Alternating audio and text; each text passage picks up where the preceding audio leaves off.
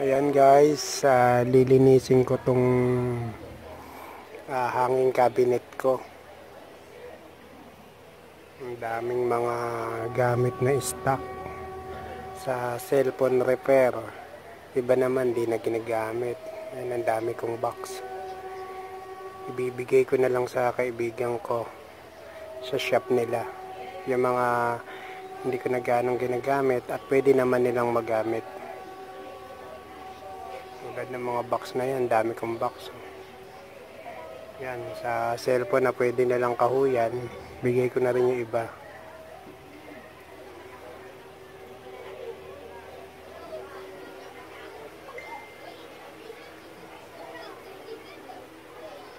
Ito yung hot air ko, power supply, tester. Kaya panghinang ko. Ito pa isang hot air gun ko.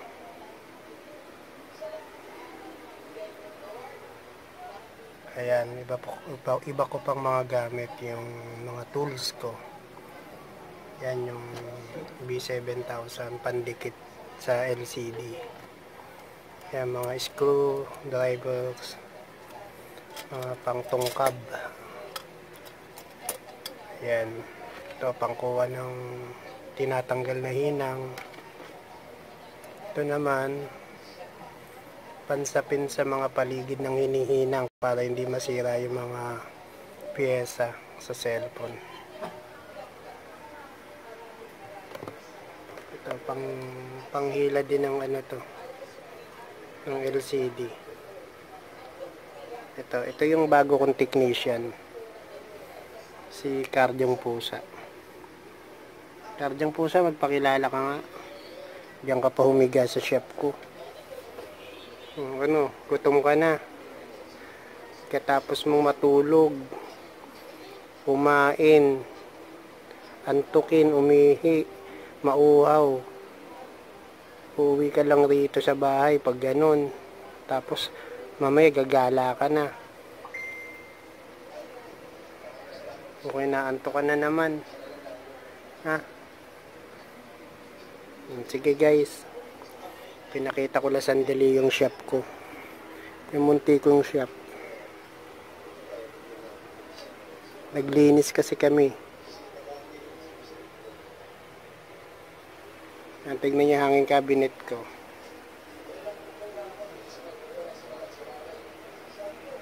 Yan, lalagyan ko pa lang ng mga gamit.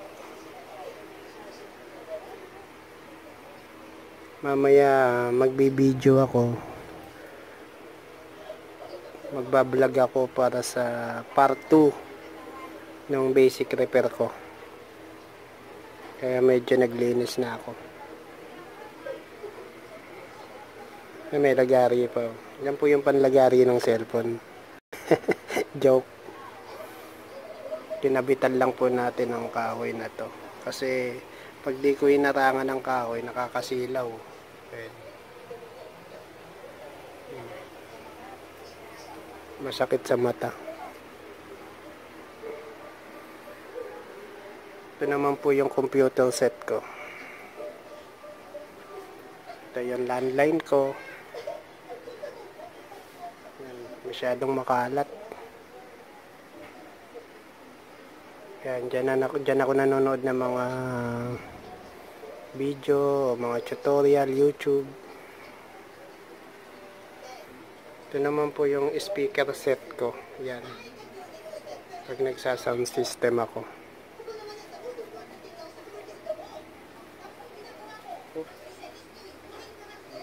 amplifier ko PC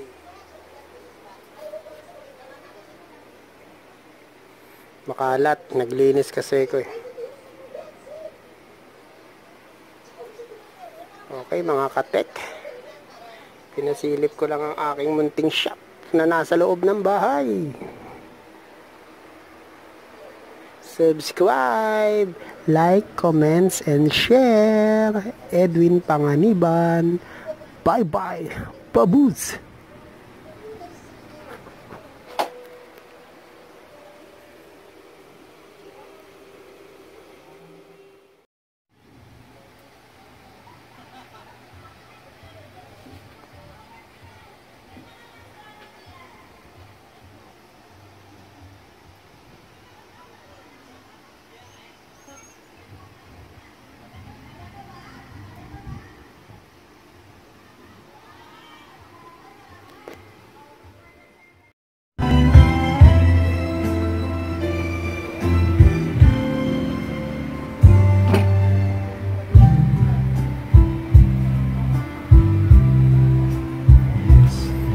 Yung naglilinis ka ng mesa mo ng shop mo ng mga tools mo ng bahay mo biglang may eepal para lang makitulog.